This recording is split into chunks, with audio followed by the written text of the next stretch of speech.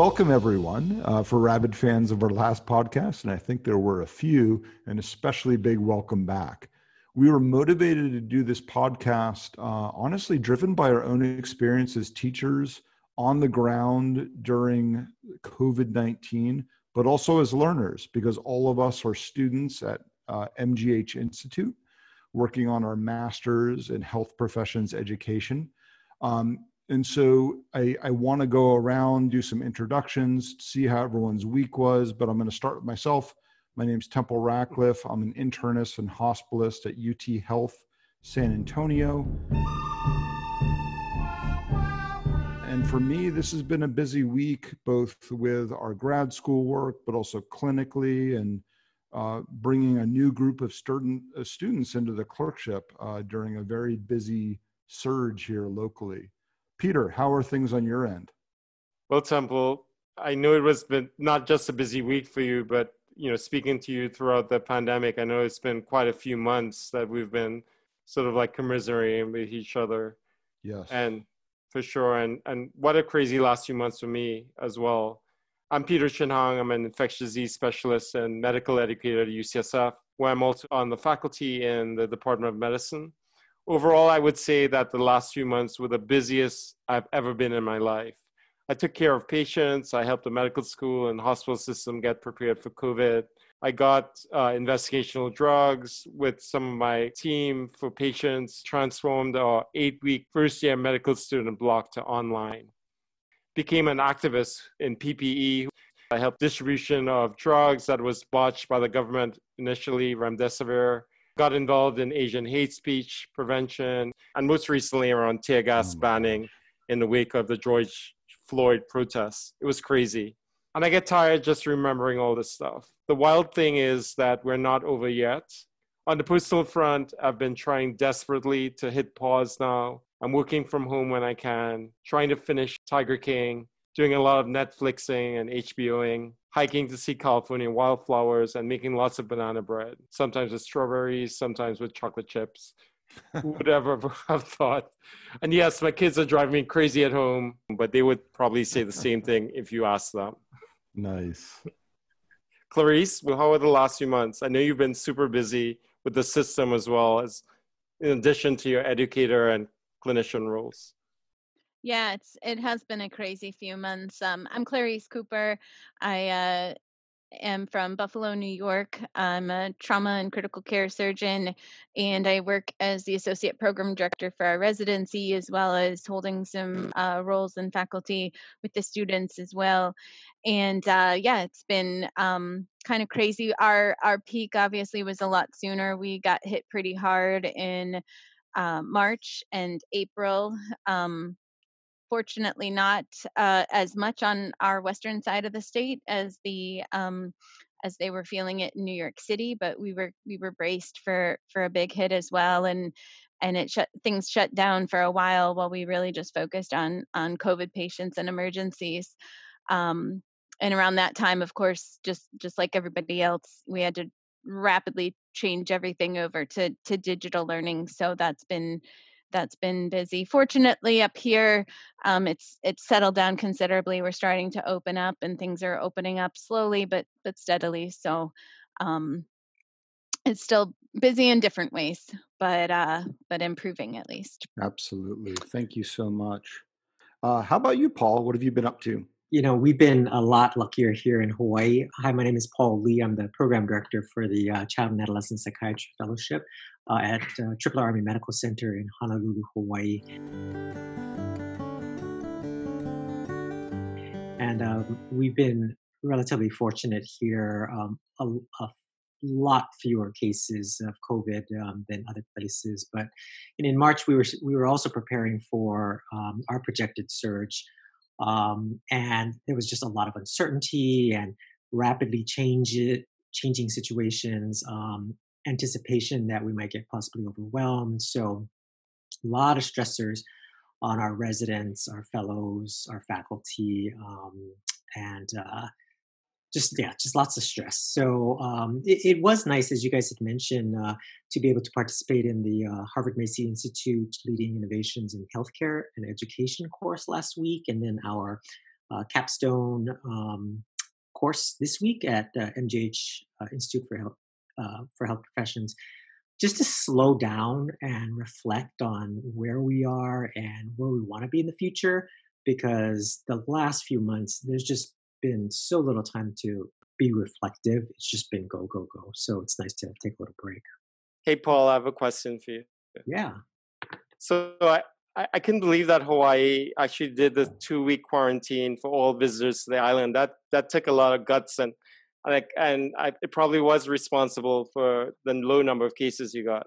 Yeah, it's it's it's always a, a balancing act because tourism is our number one industry, and um, it really took a hit uh, when people knew about uh, quarantine, and so they're trying to figure out how to balance that out to get tourism back and running. But our cases are starting to increase again, small compared to the rest of the U.S., but starting to increase. So there's some wonder and worry about how we're going to progress, move forward um, without um, you know, having a, a, huge increase in cases. Thanks, Paul. Um, and really, we're saving the best for last because I want to introduce our very special guest who's taken time out of his busy schedule after 9 p.m. on the East Coast to be with us. Uh, the one, the only Tony Sindelar. Uh, so, Tony was the inspiration befo- behind our first podcast and taught really a, just a wonderful course um, that a few of us still have a little bit of work to turn in for. Um, but uh, uh, Tony, why don't you introduce yourself? Sure. So uh, my name is Tony Sindelar. I am not a doctor. I feel like that's very important for me to say right off the start there. Unlike all of you, I am not uh, any kind of medical service provider. Uh, so I'm, a, I'm an instructional designer and teaching consultant at the MGH Institute, uh, where I also teach a course uh, regularly there on using technology in education, where I know uh, you, you, all folks from. Uh, and this has been uh, an interesting era for instructional design. Instructional design used to be one of these things where I was very used to explaining what an instructional designer was to people who had never heard of that before, or maybe weren't familiar with the specific role it was at my school. but many people did not know what those words meant. They know what it they know what design is they know what instruction is they don't really know how to put those words together uh, but instructional design has been rediscovered uh, in the era of covid because everything is moving online one way or another and instructional designers are the people that help uh, faculty and experts uh, do that. They do other things, but that is what we are being uh, drafted uh, to to do uh, in, in great numbers uh, right now, because everybody is moving their instruction to to online and struggling with you know what activities might be asynchronous, what activities should be synchronous, how do you build community online, what does collaboration look like online, and you know there's all there's been I've I've been teaching online for many years and working in the area of online teaching and learning for a long time. There are these kind of classic myths about online teaching and learning that are like resurfacing as as people have to do it for the first time and they're like well shouldn't this be freer or cheaper or less expensive or easier? And it's like hmm, depends. so, yeah. Uh, but yeah, this has been a uh, an exciting time for exciting being a, a very positive way of spinning, an exciting and exhausting time uh, for moving a lot of instruction into the online world. And you know, even some people take issue with like, is this online teaching and learning? Do we need another word for it because it's like emergency, remote, you know, uh, digital learning? Uh, so it's it's it's been a it's been an interesting interesting time. That's awesome. We really, really appreciate you being here. And I, I honestly have been looking forward to this once Peter uh, mentioned doing this, just because I really would love to hear your thoughts and uh, I've already enjoyed hearing them. So I think what we're going to do is this Peter put together kind of this idea and he thought it would be a good idea, which I agree with, to kind of break this podcast into three sections. We're going to talk about early learners in the classroom. And for our context, by early learners, we're primarily talking about preclinical med students, but this would could apply to really any students that aren't in workplace learning environments. And then we're going to talk about more advanced learners. And by this, again, for our context, we're talking about medical students and residents. And these are folks who are usually essentially learning on the job and maybe have some classroom based in person lectures in a non COVID era and what it's looked like during this era. And then finally, for the third part, um, we're going to talk a little bit about like procedural learning, like learning how to do a procedure, which is usually very hands on and how can you do that during COVID times? So, Peter, I, I thought it might be good since your expertise uh, in from an education standpoint is in that preclinical area. Could you talk a little bit about what your experience has been so far and maybe any questions you had for Tony? Totally. So, what a journey again. I can't say that enough. Luckily, I had a lot of help in transforming our eight week infectious disease, immunology, microbiology block to online, including a lot of help from my academic spouse, Brian Schwartz. It's always good to have an academic spouse, by the way. The problem was that most of the lecturers and small group and lab leaders for the course were heavily involved in the COVID response, us being mm-hmm. ID docs. And for a while, we thought we would just replay last year's course content, which would have been so suboptimal. Luckily, cases died down in the Bay Area, so we were able to do a decent job with the students. We kept most lectures live on Zoom and synchronous with some modifications. Had a COVID session each week, which we called Fireside Chat, where we brought in the headlines of the week insofar as it related to course content with expert discussants and moved the lab entirely online. We added a couple of bells and whistles like a Slack channel for continuous communication with our course directors. And yes, we even had a weekly podcast to continue to deliberately make that community with the Slack channel, the podcast, and a way for the students to access us. Because usually they would see us at the end of the class or like between the breaks, and we didn't really have that other way of seeing them anymore.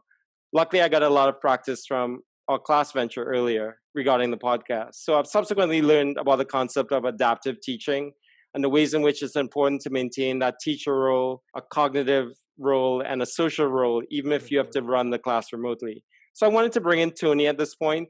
Tony, do you have any best practices for teaching using large and small groups remotely? And mm-hmm. how do you maintain that sense of community and keep mm-hmm. students engaged? How do you bring in the emotion into educational technology? I think you you raised a lot of great questions there and, and talked about some specific strategies you did in your course that I think are, are great and are what I would recommend.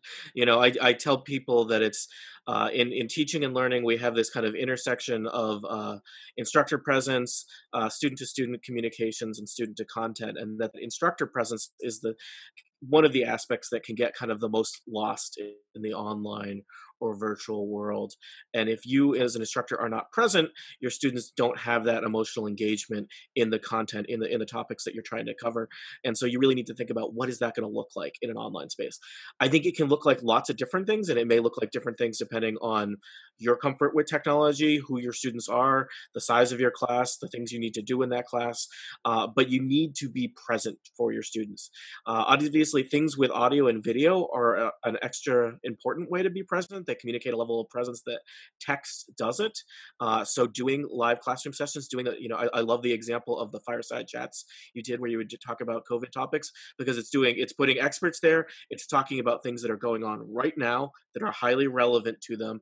And it's adding this, like there is a presence of a person, uh, hopefully engaging in perhaps something more conversational than a lecture uh, with another expert with, with students and being able to respond to questions. So, you know, the great thing about the world we have right now now is we have more of these audio video uh, tools than ever before. They're getting friendlier and easier to use. So doing some way to be available to your learners via audio, via video, uh, is is really powerful. And if you can't or aren't comfortable with those, you got to take extra steps to be as available to them as possible via text uh, based communications. Uh, you know, I started out with my online courses. I would have a, a weekly overview every week of like, here's what you need to worry about, and here's what's going on. Here's where we're going next, and it's kind of the two things of like the syllabus, but also kind of the signposting of what's going on in the course. And that could start out with just being a letter to your students. Uh, doing a video of it, I think, is even more and gives them uh, kind of those those affective qualities of what you care about, your commentary on the topic. Uh, but those are all a big deal. You know, with uh, stop me if I'm just rambling too long. You know, you mentioned you no, mentioned amazing, um, Tony. Okay, cool. Uh, you mentioned you know small and large groups, and that is a big challenge, I think, in terms of thinking about uh, what you can facilitate with those different size groups. Uh, you know, I think a lot of people are looking at what is the role of lecture in online teaching and learning, and is, for example, a lecture to a large group that would not really be interactive maybe that's something that you pre-record maybe it's something you pre-record and cut into chunks and people watch that in preparation for the synchronous sessions i mean i think right now people's time and attention is so fractured it's so scattered all over the place people are incredibly stressed out and sleep deprived and the having people all together synchronously they're not even in the same geographic place but having people together synchronously is like our most precious resource and so you want to use that time in the ways that are highly interactive and as meaningful as possible. So doing things in small groups, working through stuff. So if you have a small group of students, maybe you can do stuff. If you have a big group of students, maybe you need to divide them into small groups in Zoom breakout rooms for synchronous sessions or or asking them to do things asynchronously via discussion boards. But really think about that that those synchronous sessions, those which I think a lot of people, because they had tools like Zoom available to them, just kind of flipped a switch and said, like, well, my class met for three hours on Monday. Now it meets for three hours on Monday via Zoom. And for me, it's like mm, maybe think about what you were doing and what what of those three hours is going to work really well synchronously, and what of those three hours could be moved asynchronously. And maybe maybe it doesn't have to be three hours because people's attention span is not what it was, you know, uh, in December. Totally. I mean, and just to pick up and riff on what you just said, Tony, we just got back our survey results about the educational technology during COVID in our course. And I was actually surprised. I didn't really think that students would really love that synchronous aspect so much because you thought that maybe pre-recorded would be more convenient, but they, the vast majority really wanted us to be there and present, really exactly what you just said, mm-hmm. which I thought was I, interesting. I think the social isolation elements of COVID made that really come through in a way where they are cut off from their friends and family and and people and or, uh, you know people beyond who they immediately live with in so many ways that it's like having those social connections become such a big deal and synchronous sessions is, is an important part of that so i want to make clear here i do because i've been one of the things i advocating a lot is thinking about how long your synchronous sessions are not do away with them all entirely but make sure that they are the kind of as meaningful as possible I think that that highlights a couple of things. Um, you know, one thing that you emphasized in your course before we talked about anything fancy was the backward design. And so I think, um, you know your comment about okay maybe we need to step back and reevaluate what we're trying to accomplish with this course i think this provides an opportunity to hopefully do that and maybe you know break some old bad habits to to really reevaluate what we're trying to to accomplish um, the other observation I have from what you said was the value of synchronous learning. And this was my observation more so as a parent of an elementary mm. school child than as an educator. But, you know, I think our school, it took a little while for them to develop a program and they ended up developing a pretty good program for my second grader, but it was, it was lacking synchronous time with her class you know some a lot of elementary schools still had brief zoom sessions as a class and our second grade um, district did not and and we were all kind of upset about that. We thought oh just a little bit of time uh, you know not too much but a little bit of time would have been nice and and so i think that highlights the value of it. Yeah people want to uh, b- build connections with other people. Learning is usually a social activity that you you know you need to be in some kind of group. You can't just do it all by yourself you can do a lot by yourself, but not all of it. No, th- these are great thoughts. It has me rethinking a little bit as clerkship director right now, mm-hmm. kind of what we're doing with our synchronous sessions and kind of the emergency e-learning model that you mentioned before of just moving content onto synchronous sessions, mm-hmm. but really being thoughtful about that as this matures, I think would be really yeah. great. And I it's was, hard. I think a, yeah. a lot of people were kind of not maybe hoping that it maturing would not be necessary, right? I mean, I think a lot of people were yes. operating on a well, we're going to do this and it'll get us through the next 90 days and then things can go back to normal and that's not the reality that we are living in now um, and so it's it's it's with us i think a lot longer than many uh, perhaps not many doctors like you all who are seeing all, all these things but i think than many educators were yeah or or certainly that they were hoping that they thought everything would be totally back to normal by fall and of course that's not the reality we are living in. Um, so it's it's which is challenging. I think people are very uh, they you know it's hard to change and certainly the change was not something anyone opted into and came very quick and very sudden and sometimes people you know didn't always make the best choices and i think it's definitely something to think about. If you are preparing materials for the fall this is a time to think about like what are you doing um, yes you know, no, hopefully a little sure. bit more lead time than uh, sure. changing course mid-semester this may not be an area so a lot of what you and peter talked about applies to the clinical learning environment when the students are not in their clinical learning environment Mm-hmm. would normally be in a small group session or a lecture what i'm having more trouble wrapping my mind around is you know if students are pulled again from our clinical learning environment meaning our clinics our wards how best to use technology to keep them engaged with patient care Mhm. um, and to keep them engaged, potentially even with the teams in the hospital. And so this is not just a question for Tony, but I am genuinely curious, like at the different institutions we have represented here, what sort of things have people seen so far to keep either students or residents engaged in patient care if it's not directly in person? I can speak to our institution, several institutions in Buffalo. Um, it's a bit more of a challenge with the medical students. I think, unfortunately, they were left out a little bit, and and if we get forced into this again, now we have better tools to to use them or to involve them so that they can hmm benefit rather. Um, but for our residents, you know, they rapidly, um, you know, had a lot less work to do from a surgical standpoint. We were we had them on a standby for a COVID surge, but um, but all of the elective operations that they normally would be spending their time doing, they had very little to do, and so um, we went down to a skeleton crew, keeping them, you know, uh, basically home for two weeks and then clinically working for two weeks. But the the home teams, um, we did keep engaged and working clinically, so they would participate on rounds either via Zoom or just an open phone line. Um, while the teams were rounding, uh, the the home teams were in the electronic medical record at home, um, doing some of the skeletonizing of the notes, the things that they were able to see or plans that they knew allowing for the in-house teams to fill in things like the exam um, and then uh, they also you know followed up on things throughout the day labs consults you know stuff that that they could do remotely and and they actually kept quite busy our our icu fellow i think worked harder and was more involved in patient care in the team um, during this time than than she even usually is and and she was home this whole time so it's interesting That's really cool. That is really cool. Can I ask one quick follow-up question? Just in the in the surgical culture, is when you when you all round, is it mostly table rounds or is it bedside or is it like in the hallway by the patient's bed?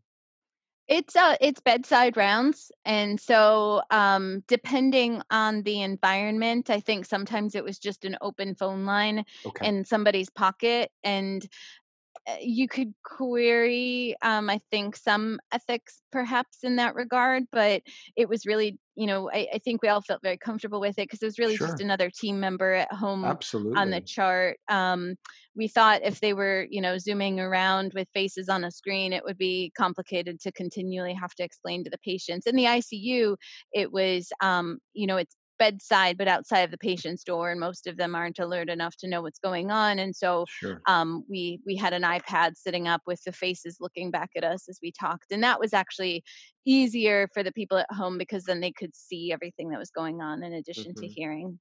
That's really great. That that's a wonderful example. No, I think that's a great example. I mean, I feel like when we're you're thinking about the the clinical environment and and pulling learners in here, the the mobile and social tools are the really the big deals uh, in order to kind of bring people to a place they couldn't be at. Uh, and I, I feel like this is particularly challenging in these COVID times where you have it feels like it's kind of bimodal. There's the people who are insanely busy, and there's the people who like you know everything's packed up and like you can't come in. Uh, so it's hard to to you know activate either side of that equation uh, but using those those tools to bring people into a space where they uh, perhaps it's not safe or not convenient for them to physically be if to bring them in virtually is nice uh, communication tools i think are the huge thing around this in terms of getting people your more advanced learners like being able to talk to each other and staying in Yes. touch so whether that's synchronous tools like uh, like zoom or uh, chat tools like uh, like slack or microsoft teams or even whatsapp uh, just ways for students to be in ch- checking in with each other, communicating what they're working on, what's going on. I think are really important right uh, right now if people are, are kind of uh, disconnected. Right, there is always this kind of challenge just of online teaching and learning. Uh, of your time tends to be a little bit less structured. You have perhaps less of a connection to your your site where you be, would be a learner, that doesn't necessarily mean you are not uh, able to accomplish the same goals as a learner, but you may have kind of the, the you, you lack some of the kind of cues that we would think of of like, oh, okay, I'm physically present in a clinic. I'm sitting in a classroom. I'm ready to be a learner now. Uh, when when one is at yes. home, and it seems like I mean I imagine true. a lot a lot of fields will be exploring various telemedicine ways um, in perhaps in ways they did not expect to be, um, you know, a year ago. Although there are a lot of people wearing boxer shorts and regular clothes on top with the Zoom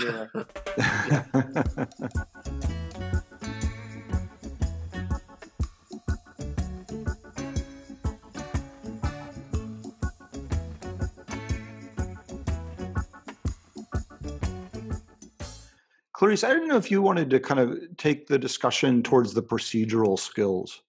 Yeah, absolutely. I mean, obviously, that's a challenge too um, I think procedural skills, you know, there's there's a couple components to it. Um, there's the technical aspect, of course, and so that's you know the that could be basic suturing, knot tying, um, working within a laparoscopic trainer, all of that eye-hand coordination stuff.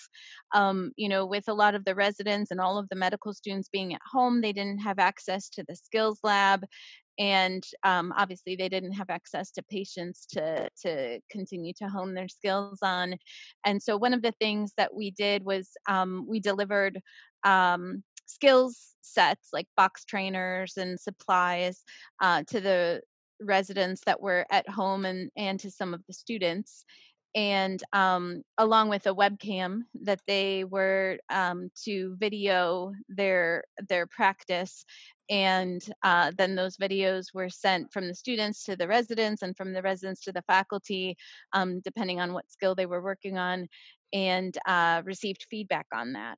And so that was one thing that i think was really interesting um, because you know practicing at home is great but if you're practicing the wrong way then you're you're yeah. you're practicing poorly. You're you're you're um developing bad muscle memory and and that's worse perhaps than not practicing. So uh, that feedback component was very important, which is where the video came in. Um, but it also allowed us to engage faculty that perhaps never would bother to step foot in a, a skills lab or wouldn't have the time to um, evaluate basic, basic skills, but either because they're not working, doing elective surgeries, or because they have a little bit of time at night, you know, they were able to participate in ways that they hadn't before. So that was one um, one aspect that was kind of neat. That's really cool. Yeah, the um the other aspect of course is the operations themselves. So, you know, part of it is being able to do it from an eye hand coordination standpoint and then the other part of course is knowing what to do. Mm-hmm. And so um we made use of um, a lot more video based education. So um, there's a lot of surgical resources with uh, videos of operations, open and laparoscopic. And so we had some conferences where um, you know they would watch the videos and then a content expert faculty member would you know kind of go through the video pause it at certain points point out pearls those sorts of things and we're getting to a point that we haven't quite gotten it mainstream yet of where people um, are are hopefully getting to where we, they will be wearing um, headsets mm. or head cameras mm-hmm. um, mm-hmm. so that they can um, have some of their operations recorded and other people can watch them and learn from them. Uh, we do have a couple operations that people have actually done with 3D cameras on their heads, and um, and other people watched it live streaming, and that was kind of a, a neat event. But so far, it hasn't really hit mainstream education, and it's mostly been just wow, look what we can do. Mm-hmm. Sure, sure. Anyone else have any thoughts on the procedural aspect? And if not, that's totally fine. I mean, I, I just was, you know, I, I really was interested in Clairice's last comment about uh, using those cameras, and one of the things that popped into my head was, you know, use in the future maybe of VR or you know, mm. you know, AR. And I I know Tony always tells us, don't think about the technology, think about what you want to do, and then think mm-hmm. about the technology that supports you. But I can't help but be tantalized by that mm-hmm. prospect in the future. Yeah, I, I think this is it's challenging. This is perhaps the kind of the most resource intensive uh, aspect of, of kind of doing any of these kinds of pivots. Uh, it's not kind of this is not stuff that we can kind of uh, do overnight uh, in terms of developing task trainers and VR things and uh, interactive software and whatnot. But it is perhaps we are realizing what are the things we wish we had. Uh, and you know, I, I in in the course I, I'm pretty skeptical about VR and AR, uh, at least in terms of when are they going to reach wide scale wide scale mm-hmm. adoption. But they are and will continue to be used in specific uh, industry specific areas and this is the, this is one of the ones where like people may you know you may not have a vr headset at home but you may totally have one uh, at home if you're a surgeon uh, you know? So uh, it's it's just because it's not something that you'll buy at a best buy doesn't mean it won't be become a standard in, in certain medical fields uh, I don't know if that's going to happen tomorrow or 10 years from now, but uh, hard to say. I think this is the area where it's it's really hard because uh, you know we, we are really feeling it in the schools and in, in, the clinics because it's like there's if there's specialized equipment and access to things we need, and now we don't have them. You just don't have them, right? And there are things you can do where you can provide students students with more video content. I think people are uh, accessing video content more than they've ever done, but, but it is not it's not the same. Um, more and more people are having students practice things and uh, create video content of themselves doing things. Mm-hmm. Uh, but mm-hmm. again, it's a challenge. If they are practicing it wrong, you don't necessarily want them reinforcing the wrong skills. Uh, but I'll just mention, you know, Flipgrid is a tool that I think I'm seeing used in the classroom, at least where students are, well, it's the, the virtual classroom where students are doing things at home and submitting short videos uh, to their instructors for grading and feedback. Uh, and, but it's a challenge. Even, you know, I, am working with colleagues in physical therapy and occupational therapy, uh, not surgery, but it's, you know, it's challenging if a student is quarantined at home and does not have another person in their house. They can't demonstrate basic physical therapy techniques if they don't have another yeah. human to, you know, rotate their shoulder on or, or, or what have you. Uh, so it is definitely, I, I think it's a huge challenge in terms of what resources do students physically have access to. Uh, because we didn't have six months, a year to uh, to plan for this and, and put together tools and ship things out to different people. Uh, Makes total sense. Tony, what did you? What was that program called again? So Flipgrid is getting a lot of popularity right now. Flipgrid is a Microsoft tool that makes it really easy to record video on your phone and then share it with other people, potentially with classmates and an instructor. Uh, you know, we've had the ability to do video in lots of ways for a long time. Flipgrid is, is a tool right now that is a, a very friendly and easy way to do flip video that I would mention. I, um, especially if you if you're at an institution that has a lot of Microsoft products, they may already have it. Um, nice. No, that's good to know. We've been uh, on Teams as opposed yes. to Zoom for the most part, though we do have some Zoom accounts too, because the small group stuff seems to work a little bit better on that. Yeah. Well, this has been awesome. Um, Tony, your your tips have been point on and brings back a lot of the concepts from the course. Um, we thought it might be nice to close though by asking Paul, given his professional background, just to give his perspective on some tips for wellness, not just for learners, but for all of us um, during this just really odd, odd time that we're living through. Um, so, Paul, I didn't know if you had any thoughts you wanted to share. Yeah, you know, it's so interesting that wellness was already a big focus uh, in training programs before COVID, but um, with the pandemic, it has just become s- such a critical focus uh, because this is the scariest, most widespread situation that many people have experienced in their entire lives. So people are responding very differently. Um, what's nice to see, though, is uh, that people are looking out for each other, um, making sure that they're coping as well as they can uh, in the situation. So um, I think just in my experience and speaking to colleagues across the country, uh, a lot of the training programs and, and medical centers have been um, developing virtual behavioral health support hmm. programs, mm. not just for the patient population, but for their providers, their staff. Um, and that's ranged from anything from walk-in service to make it more um, convenient and accessible to organizational consultations um, as people are feeling overwhelmed by the uncertainty of things. Working with individuals or working in group formats. Um, so it's been interesting to see how we can use tech to support all of these um, um, these services. So really, um, what we've been focusing on as a field has been really educating people on what are common responses to adversity um, and mm. then what does more concerning signs and symptoms look like that might require more immediate intensive um, uh, care and treatment. Um, and then also really providing resources. The, the, really neat thing about this time is you see all of these uh, big name organizations, um, but even grassroots uh, efforts to put out educational resources to support mental health and behavioral health. Uh, so that's been really nice. So I think one of the things, the most important things that we try to help people to um, to find is see what they can and what they can't control with the situation. Uh, a lot of people are feeling very out of control, very uncertain, and to help them gain some sense of control in their lives, and, and that could be even in very small, healthy ways. Um, I'm not personally an exerciser, so don't, please don't tell me to exercise. But for somebody who does usually exercise, but they find themselves very busy at work um, with unusual work schedules, um, just making sure that they carve out just a little bit of time to maintain that control of that part of their life.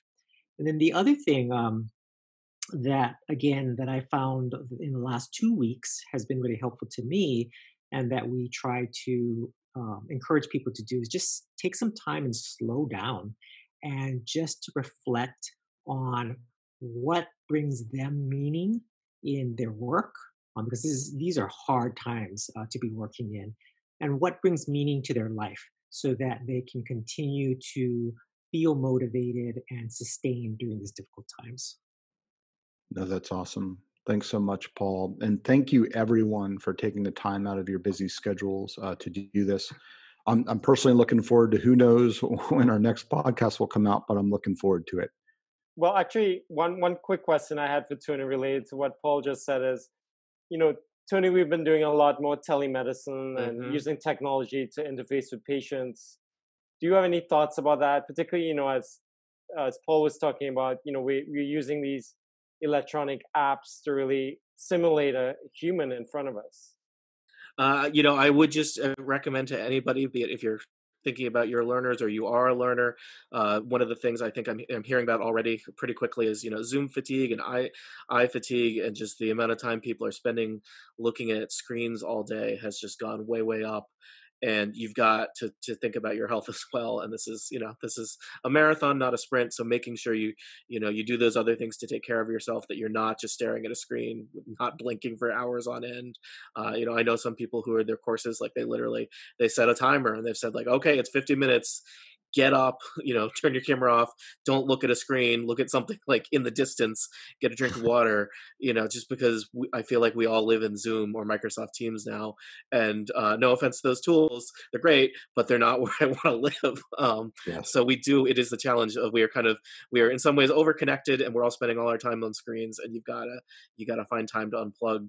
You got to rest your eyes. You got to make sure you're taking care of your, your mental and emotional health as well. And, you know, that's going to look different for different people. I'm taking a lot of walks. I try and watch something funny once a day uh, because everything else is pretty depressing. Yes, yes. Um, sure. So, but also do it is you know do not stare at the same glowing rectangle all day.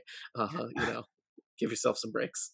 Totally, Tony. And then in, our, in that survey we just completed with the medical students, and of course, 100% of them admitted to having Zoom fatigue uh, yep. during the course. Yeah, even if you are the most eh, doing the most entertaining lovable sessions ever you're still just one hour in a day with many other uh, zoom sessions so yes. uh, think about what what does and does not need to be via zoom and uh, end your sessions on time. For sure. More important than ever to end your sessions on time. All right guys on that note i think we'll we'll end this podcast. Thanks. Great to see you all. Thanks, thanks guys me. take care. Elena.